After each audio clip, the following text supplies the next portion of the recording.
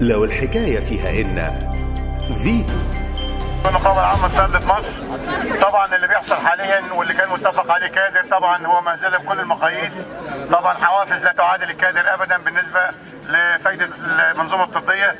طبعا إحنا مش هدفنا بس إن إحنا كادر فقط ولكن هدفنا رفع ميزانية وزارة الصحة أيضا من أجل مصلحة المريض والطبيب والصيدلي وكادر عادل لجميع الفئات طبعا كادر عادل نقصد به الطبيب آه، زي الصيدلي زي دكتور اسنان جميعهم لهم نفس الأهمية بالمنظومة الطبية بل الصيدلي هو أكثرهم أهمية لأنه لولا الدواء ماذا سيكتب الطبيب؟ لن يجد الطبيب ما يكتبه وبالتالي الدواء له هو الأهمية الأساسية في المنظومة.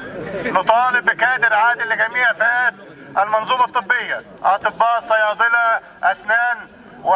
و... ونطالب أيضا وزارة الصحة بعدم تطبيق الحوافز التي هي ليس في مصلحة الم... المنظومة. شكرا.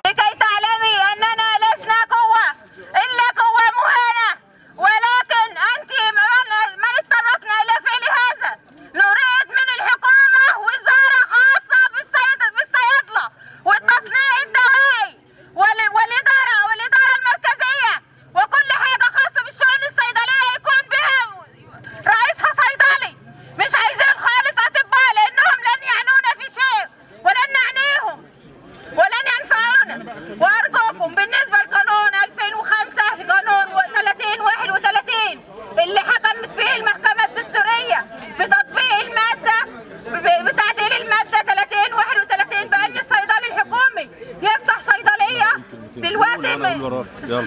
ماشي.